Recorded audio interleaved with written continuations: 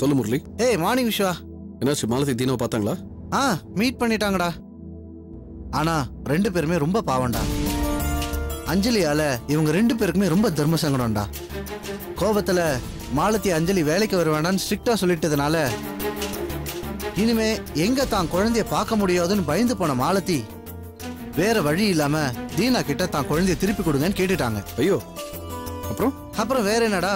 வழக்கம் போல தீனா மாலத்தி கிட்ட கெஞ்சி கூத்தாடி மன்னிப்பெல்லாம் கேட்டு நீங்க மறுபடியும் பழையபடி வேலைக்கு வரலாம்.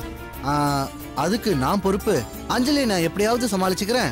தயவு செஞ்சு குழந்தைய மட்டும் திருப்பி கேட்காதீங்க அப்படின்னு சொன்னான் அதுக்கப்புறம் தான்டா மாலத்தி மனசு இறங்கி சரின்னு சொன்னாங்க. கடவுளே என்னடா உங்க ஃபேமிலியில பெரிய ப்ராப்ளம் மேல ப்ராப்ளமா வந்துட்டே இருக்கு? மாலத்திக்கு ஒரு பிரச்சனைனா நந்தினிக்கு இன்னொரு பிரச்சனை. பாவமா இருக்கு. ஆ, மச்சான் எனக்கு தெரிஞ்ச ஐ ஸ்பெஷலிஸ்ட் ஒருத்தர் இருக்காரா? நம்ம ஏன் நந்தினி அவர்கிட்ட கூட்டிட்டு போய் காட்டக்கூடாது? ஏன்டா சைலண்டா இருக்க? எந்த டாக்டரா இருந்தாலும் அவங்களுக்கும் செகண்ட் ஒப்பீனியன் ஒன்று இருக்கும். நம்ம இத ட்ரை பண்ணி பார்ப்போமே. பாசிட்டிவா இருந்தா நமக்கு லாபம் தானே? ஆ, அப்புறம் விஸ்வா நான் எதுக்கும் அவர்கிட்ட ஃபோன் பண்ணி இது விஷயமா பேசலாமேன்னு கேட்டேன். அப்பாயின்மெண்ட் கூட கேட்டு பார்த்தேன். பட் இன்னைக்கு முடியாது. வேணும்னா நாளைக்கு வாங்கன்னு சொல்லியிருக்காங்க. நீ என்னடா சொல்ற? தெரியல முரளி. என்ன பிரயோஜனம் சொல்லு அதான் அவங்க சொல்லிட்டாங்களே டாக்டர்ஸ் எல்லாரும். குழந்தை பிறக்கறதுக்கு முன்னாடி சர்ஜரி எதுவுமே பண்ணக்கூடாதுன்னு. இதுக்கு மேல எத்தனை டாக்டர்ஸை கேட்டு என்ன பண்ண போறோம்? ஆ விஸ்வா எவ்வளோ பெரிய டாக்டரா இருந்தாலும் அவங்களுக்கும் செகண்ட் தாட்டுன்னு ஒன்று இருக்கும்டா. அதனால நமக்கு ஏதாவது நல்லது நடக்கலாம் இல்லையா?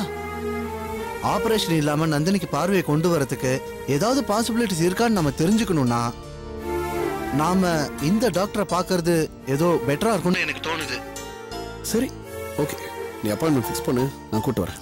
ஆ சரிடா. நான் சைட்டுக்கு போயிட்டு உனக்கு அட்ரஸ் எல்லாம் மெசேஜ் பண்றேன். நான் வர முடியாது நீ மறக்காம கூட்டிட்டு போயிடுறா. நீ ஃபிக்ஸ் பண்ணிட்டு எனக்கு டைம் சொல்லு நான் கூட்டு போறேன். ஓகே மச்சான் வச்சிடுறேன். சரிப்பா.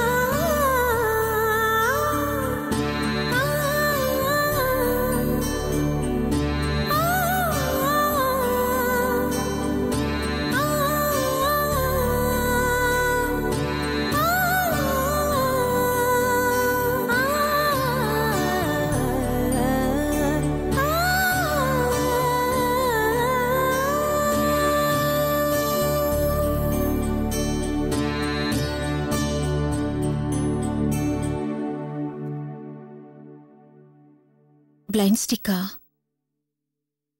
கண்ணில்லாத இந்த பாவிக்கு. உயிரில்லாத இந்த ஸ்டிக்கு வழிகாட்டுன்னு வாங்கிட்டு வந்தீங்களா?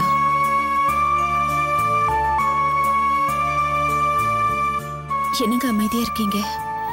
நான் சும்மா யதார்த்தமா தான் சொன்னேன். தப்பா எடுத்துக்காதீங்க. சரி நான் இதை வச்சு நடந்து பழகிக்கிறேங்க.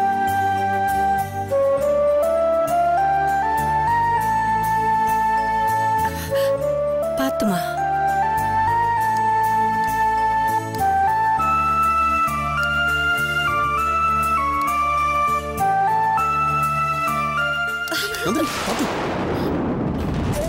பிடிக்கிறீங்க? அதான் என்கிட்ட ஸ்டிக் இருக்கே. இல்லம்மா இருந்தாலும். சொல்லுங்க அத்தை. இருந்தாலும் நான் கீழே விழுந்துருவேணும்னு பயமா இருக்கா? அடிபடாம எதையும் கத்துக்க முடியாது அத்தை. நான் நடக்கிறத பத்தி மட்டும் சொல்லல. வாழ்க்கையும் சேர்த்து தான் சொல்றேன். நான் கத்துக்கிறேன் அத்தை.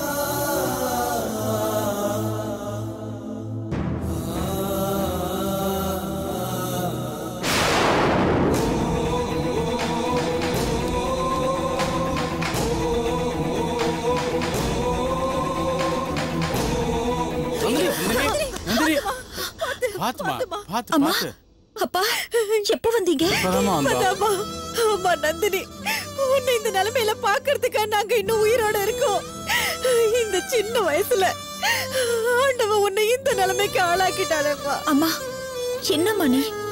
என் வீட்டுக்காரர் எனக்கு வாக்கிங் ஸ்டிக் எல்லாம் வாங்கி கொடுத்து என்னோட வேலையை நான் தனியா செய்யணும். யாரோட உதவியும் இல்லாம நான் தனியா நடக்கணும்னு எனக்குள்ள நம்பிக்கை வர அளவுக்கு அவர் முயற்சி பண்ணிட்டு இருக்காரு. நீ என்னடனா இப்படி அழுதுட்டு இருக்க? வாங்க உள்ள வாங்க உட்காருங்க. இருக்கட்டும் மாப்பிள்ள பரவாயில்ல. நாங்க இப்ப இங்க வந்ததே உங்ககிட்ட ஒரு முக்கியமான உதவியை கேட்கறதுக்கு தான்.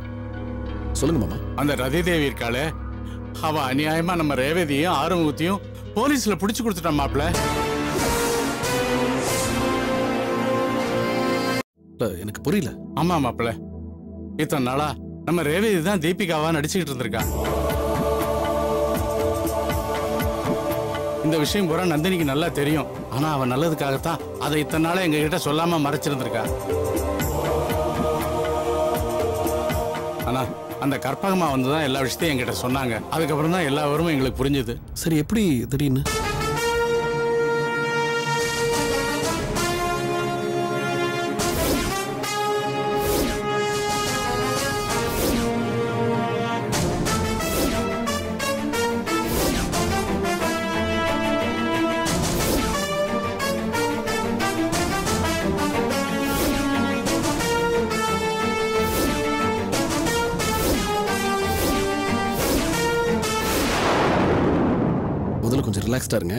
ஸ்டேஷன்ல வச்சிருக்காங்க. அடையார் ஸ்டேஷன்ல வச்சிருக்கிறதா கற்பகமா வந்து சொன்னாங்க.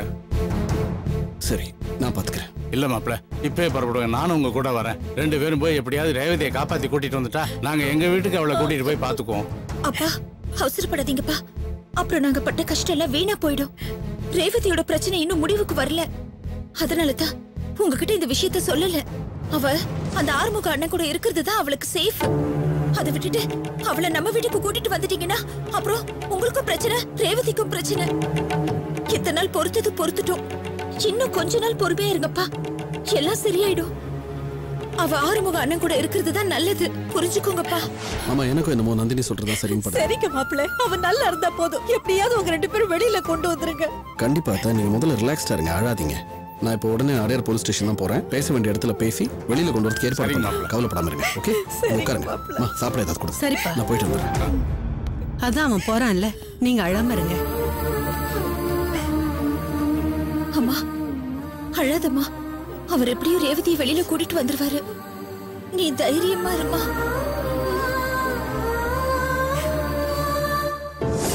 ஆ ஆமா. கேக்குற சம்பளத்தை கொடுத்துருவேன். ஆனா வாங்குற சம்பளத்துக்கு அவங்க கரெக்டா நடந்துக்கணும் சொல்லிடு. ஆ. நான் திரும்பவும் சொல்றேன். காலையில எட்டு மணிக்கு கரெக்டா வேலைக்கு வந்துடணும். வந்து குழந்தைக்கு என்னெல்லாம் தேவையோ அதெல்லாம் செஞ்சு கொடுத்து அவளை பத்திரமா பாத்துக்கணும். நான் வழக்கம் போல ஏழு மணிக்கு வந்துருவேன். ரொம்ப ரேரா தான் ஹாஃப் அன் ஹவர் லேட் ஆகும். அது வரைக்கும் ரொம்ப பொறுமையா இருந்து குழந்தைய அவங்க பாத்துக்கணும். அப்புறம் அடிக்கடி லீவ் போடுறது டெய்லி லேட்டா வர்றது இந்த மாதிரி எல்லாம் இருக்கக்கூடாதுன்னு ஸ்ட்ரிக்டா அவங்க கிட்ட சொல்லிடுங்க. புரியுதா?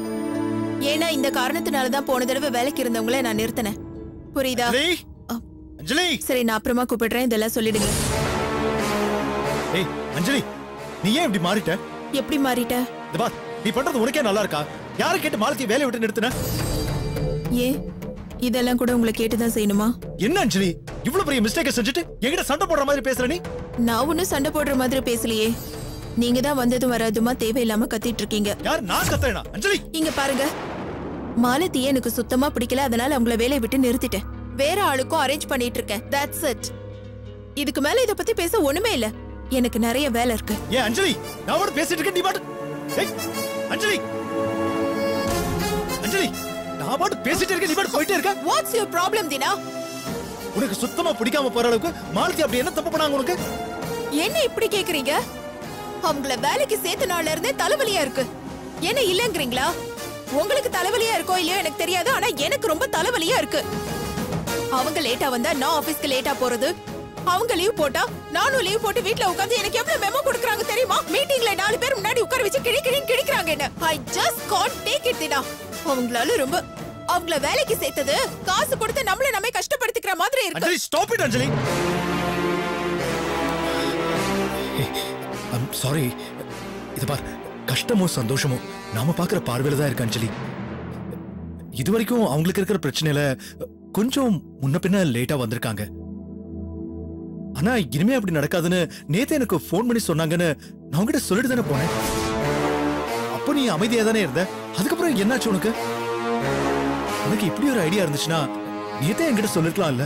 சொல்லிருந்தா? சொல்லிருந்தா என்ன பண்ணிருப்பீங்க? மாலதி பாவும் அவங்க கஷ்டத்துக்காக இங்க வேலைக்கு சேர்ந்திருக்காங்க. அதனால நீ கொஞ்சம் அட்ஜஸ்ட் பண்ணிக்கோன்னு ஏன் வாயை அடைச்சிருப்பீங்க. அஞ்சலி ப்ளீஸ் இத பார் நீ ரொம்ப நல்லவப்பா. ஆனா நீயே அடுத்தவங்க கஷ்டத்தை புரிஞ்சுக்காம இப்படி எல்லாம் பேசுறது ரொம்ப கஷ்டமா இருக்கு. இத பார் நான் இப்போ அப்படிதான் சொல்றேன். மாலதி ரொம்ப பாவம். இந்த வயசுல அவங்க புருஷனுக்கு வரக்கூடாத நிலைமை வந்து அவரை காப்பாத்துறதுக்காக நம்ம கிட்ட வேலைக்கு சேர்ந்திருக்காங்க. நாம அவங்கள இந்த மாதிரி ட்ரீட் பண்றது நல்லா இல்ல. இத பார் ப்ளீஸ் சொன்னா கேள்டா. தயவு செஞ்சு அவங்கள திரும்பவும் வேலைக்கு சேர்த்துக்க. ஏங்க நான் தெரியாம தான் கேக்குறேன்? அவங்க நம்ம கிட்ட வேலை செஞ்சாதான் அவங்க ஹஸ்பண்ட காப்பாத்த முடியுமா என்ன? அவங்க சூழ்நிலைக்கு ஏத்த மாதிரி வேற ஏதாவது வேலையை தேடிக்கிட்டா போதுமே? அவங்க சூழ்நிலையை புரிஞ்சுக்கிற மாதிரி அவ்வளவு சீக்கிரம் யாராவது அமைஞ்சிருவாங்களா அஞ்சலி? புரியுதுல்ல? நாம மட்டும் என்னங்க ட்ரஸ்டா வச்சு நடத்திக்கிட்டு இருக்கோம். நாமளும் மாச சம்பளத்தை எதிர்பார்த்துட்டு இருக்கிற சாதாரண மிடில் கிளாஸ் ஃபேமிலி தான் தினா. நாம ரெண்டு பேரும் ஒர்க் பண்ணி ஏதாவது கொஞ்சம் சேர்த்து வச்சாதான் தியாவோட ஃபியூச்சரை டாலி பண்ண முடியும். அதுக்காக தான் குழந்தைய பாத்துக்க ஆள் வச்சுட்டு நானும் ஒர்க் பண்ணிட்டு இருக்கேன். இதையெல்லாம் அவங்க புரிஞ்சுக்கணும்ல? அப்படி புரிஞ்சுக்காதவங்களுக்கு நீங்க எதுக்காக சப்போர்ட் பண்ணிட்டு இருக்கீங்கன்னு எனக்கு புரியல. அஞ்சலி நீயா இப்படி பேசுற? இன்னைக்கு நாம நல்லா இருக்கோங்கிறதுக்காக மத்தவங்க கஷ்டத்தை புரிஞ்சுக்கவே மாட்டேன்னு அடம் பிடிக்கிறது எந்த விதத்துல நியாயம்? இந்த உலகத்துல எதுவுமே நிரந்தரம் இல்லை. கண் சிமிட்டுற நேரத்துல எல்லாமே தலைகீழா மாறிடும். ஐயோ தினா. இப்ப எதுக்காக இப்படி தேவையில்லாத பிலாசபி எல்லாம் என்கிட்ட சொல்லிக்கிட்டு இருக்கீங்க? ஐயோ தப்பு அஞ்சலி தயவு செஞ்சு புரிஞ்சுக்கோ. அனுசரிச்சு போறது சகிச்சுக்கிறது அடுத்தவங்க கஷ்டத்தை தன் கஷ்டமா நினைச்சு தன்னால முடிஞ்ச உதவிகளை செய்யறது இது எல்லாமே மனுஷங்களுக்கு மட்டுமே என்னைக்குமே முக்கியமா இருக்க வேண்டிய குணாதிசயங்கள். அடுத்தவங்களோட உதவியும் கருணையும் தேவைப்படாம இந்த உலகத்துல யாராலையுமே வாழ்ந்துட முடியாது. சி இப்ப நம்மளையே எடுத்துக்கோ. என்னதான் நம்ம பணம் கொடுத்திருந்தாலும் தியாவை நமக்கு விட்டு கொடுக்கறதுக்கு யாரோ ஒருத்தருக்கு மனசு இருந்துச்சு. அவங்க நினைச்சிருந்தா இன்னைக்கு தியா நம்ம குழந்தையா இருந்திருக்க மாட்டோம் நம்ம கஷ்டம் அவங்கள ஐ மீன் அவரை டிஸ்டர்ப் பண்ணதுனால தான் குழந்தைய அவர் நமக்கு விட்டு கொடுத்தாரு. அதனால்தான் நாம எல்லாரையும் போல சகஜமா சந்தோஷமா வாழ்ந்துட்டு இருக்கோம் இப்ப எதுக்கு சம்பந்தமே இல்லாம எதுக்கோ எதையோ முடிச்சு போட்டு பேசிக்கிட்டு இருக்கீங்க? பெரிய சம்பந்தம் இருக்கு அஞ்சலி. எனக்கு தெரிஞ்ச அந்த சம்பந்தம் உனக்கு தெரிஞ்சிட்டா உன் நிலைமை என்னாகுமோன்னு தான் எனக்கு தெரியல. உங்களை தான் தினா கேக்குறேன் நான் பாட்டுக்கு பேசிக்கிட்டே இருக்கேன் என்ன யோசிச்சுக்கிட்டு இருக்கீங்க? ஒண்ணு இல்ல அஞ்சலி அஞ்சலி உன்னை கெஞ்சி கேக்குறேன். மாலத்திய இந்த ஒரே ஒரு தடவை மன்னிச்சு வேலையில சேர்த்துக்கோ அஞ்சலி. இதுக்கப்புறம் அவங்க கரெக்டா நடந்துப்பாங்க. ப்ளீஸ் அஞ்சலி. மாலத்தி இது வரைக்கும் வேலைக்கு வரதுல கொஞ்சம் முன்ன பின்ன லேட் பண்ணிருந்தாலும் அவங்க குழந்தைய ரொம்ப கவனமா தான் பாத்துக்கிட்டாங்க குழந்தையும் அவங்க கிட்ட ரொம்பவே ஒட்டிக்கிட்டா. காரணம் குழந்தை மேல அவங்க காட்டுற அக்கறை தான். அன்னைக்கு ராத்திரி குழந்தை அவ்வளோ நேரம் அழுதும் ஏன் அழுதாங்கிற காரணத்தை நம்மளால கண்டுபிடிக்க முடியல. ஆனா மாலதி குழந்தைய கையில வாங்கின அடுத்த நிமிஷமே குழந்தை அழுததுக்கான காரணத்தை கண்டுபிடிச்சு அழுகையை இமீடியட்டா நிறுத்திட்டாங்க. அந்த நேரம் குழந்தைய நினைச்சு நாம பதறின பதட்டத்தை விட அவங்க பதட்டம் ரொம்ப ஜாஸ்தியா இருந்துச்சு. அதுக்கு காரணம் நம்ம குழந்தை மேல அவங்க வச்சிருக்கிற அக்கறை தான் அஞ்சலி. அதே அக்கறையோட மத்தவங்க நம்ம குழந்தைய பாத்துக்குவாங்கன்னு நம்மளால உறுதியா சொல்ல முடியாது அஞ்சலி. ஐயோ தீனா ப்ளீஸ் போதும். என்னால தாங்க முடியல. இப்ப என்ன? அந்த மாலத்திய வேலைக்கு சேர்த்துக்கணும் அவ்வளவுதானே? சரி சேர்த்துக்கிறேன். பட் இனிமே அவங்க இந்த மாதிரி மிஸ்டேக் பண்ணாங்கன்னா பண்ண மாட்டாங்க பண்ண மாட்டாங்க அதுக்கு நான் கேரண்டி நான் கேரண்டி பார்க்கலாம். முதல்ல நாளையில இருந்து அவங்கள வேலைக்கு கரெக்ட் டைம்க்கு வர சொல்லுங்க. அஞ்சலி அஞ்சலி. வாட் நவ் வேற யாரையோ வேலைக்கு வர சொல்லிருந்தேன்னு சொன்னியே. அவங்களுக்கு ஃபோன் பண்ணி வரவேணான்னு சொல்லிடு அஞ்சலி. ப்ளீஸ் சொல்லி தொலைக்கிறேன். அஞ்சலி.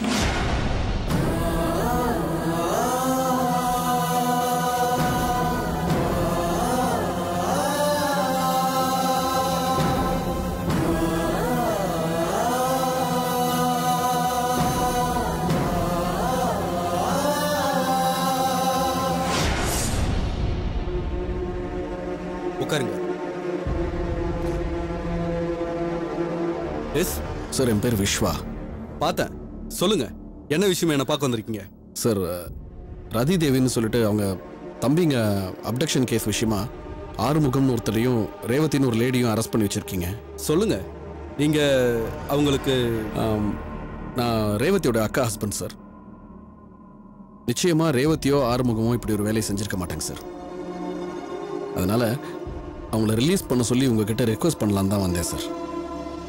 அதான் சார் இப்போ வக்கீலில் பார்த்து பெயில் அப்ளிகேஷன் மூவ் பண்ணுற மாதிரி இருக்குமா? இல்லை உங்கள் டிபார்ட்மெண்ட்லேயே ஹையர் அஃபிஷியல்ஸ் யாரையாவது பார்க்கலாமா? என்ன ப்ரொசீஜர்னு சொன்னீங்கன்னா பண்ணிடுவோம் சார். அவங்கள வெளியில கொண்டு வரதுக்கு நீங்க ட்ரை பண்ணாம இருக்கிறது தான் better sir? Yes mister Vishwa கடத்தப்பட்ட மகேஷும் விஜயும் கிடைக்கிற வரைக்கும் அவங்க ரெண்டு பேரும் என்னோட கஸ்டடியில் இருக்கிறது தான் அவங்களுக்கு பாதுகாப்பு. ஏன் சார்? அதை நீங்க மிஸ்டர் ஆறுமுகத்துக்கிட்டே கேட்டு தெரிஞ்சுக்கணும். கான்ஸ்டபிள் எஸ் சார் சார் அவங்க கிட்ட கூட்டிட்டு போங்க. Okay sir.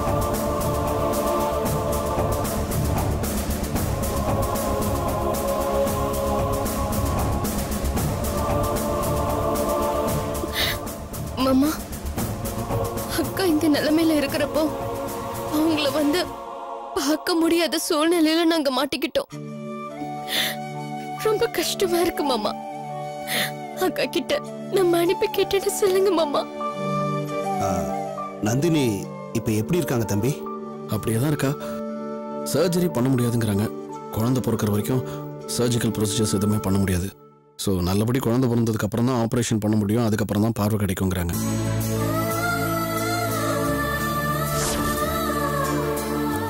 சரி அது அதை பற்றி நீங்கள் கவலைப்படாதீங்க. எல்லாரும் இருக்கும் நந்தினியை பார்த்துக்க. தைரியமா இருங்க. சரியா? கண்டிப்பாக நந்தினிக்கு பார்வை வரும். இப்போ நான் மெயினாக இங்கே வந்ததே இன்ஸ்பெக்டர் கிட்ட பேசி உங்கள் ரெண்டு பேரையும் இங்கேருந்து கூட்டிகிட்டு போகிறதுக்கு தான்.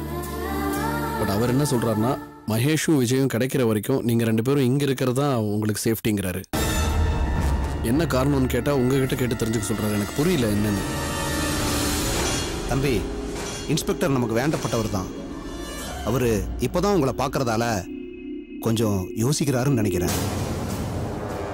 அவர் ஏன் அப்படி சொல்றாருன்னா ராசாத்தியோட கம்ப்ளைண்ட்டை ஏற்றுக்கிட்டு அவர் உடனே எங்களை அரெஸ்ட் பண்ணலன்னா ராசாத்தி அவளுக்கு தெரிஞ்ச பெரிய ஆஃபீஸர்ஸ் எல்லாரையும் பார்த்து எங்கள் மேலே இல்லாத கேஸையெல்லாம் போட்டு கடைசி வரைக்கும் நாங்கள் வெளியில் வர முடியாத மாதிரி பண்ணிடுவா.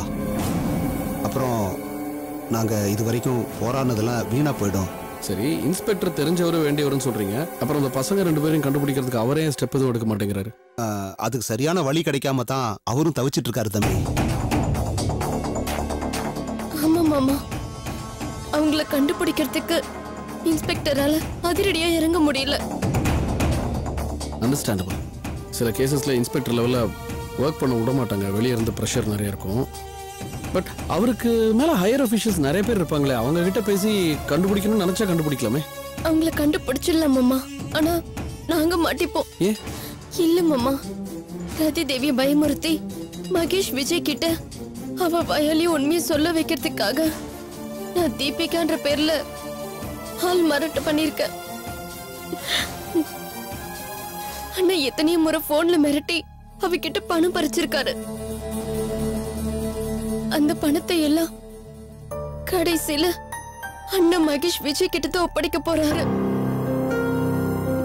ஆனா இப்போ இந்த விஷயம் எல்லாம் போலீஸ் டிபார்ட்மெண்ட்டுக்கு தெரிய வந்துச்சுன்னா கண்டிப்பா நாங்க ரெண்டு பேரும் பெரிய சிக்கல்ல மாட்டிப்போம் அதனாலதான் இந்த இன்ஸ்பெக்டர் கேஸ ரொம்ப ஸ்லோவா மூவ் பண்றாரு. சரி இப்போ அந்த பசங்களை எப்படி கண்டுபிடிக்கிறது? யார் மறைச்சு வச்சிருக்காங்கன்னு தெரிய வேணாமா தம்பி இதுல எனக்கு என்ன தோணுதுன்னா இதுவும் அந்த ராசாத்தியோட வேலையா தான் இருக்கும். அவளே அவங்கள கிட்னாப் பண்ணி மறைச்சு வச்சுட்டு உங்க பேர்ல கம்ப்ளைண்ட் கொடுத்துருக்கான்றீங்களா? இருக்கலாம் மாமா. அவ அப்படி செய்யறவதான் சரி அப்ப எப்படி கண்டுபிடிக்கிறது அவங்கள? கற்பகாத்தியை சந்திச்சா ஏதாவது தகவல் கிடைக்கும்னு தோணுது தம்பி. அவங்க அந்த வீட்லயே இருக்கிறதுனால இப்ப ரதி தேவியை பார்க்கிறதுக்கு யாரெல்லாம் வர்றாங்க அவங்க என்னெல்லாம் பேசுறாங்கங்கிறத பத்தி அவங்க ஓரளவாவது தெரிஞ்சு வச்சிருப்பாங்க. ஆனா அவங்கள யாரை வச்சு எப்படி சந்திக்கிறதுன்னு தான் எனக்கு தெரியல தம்பி.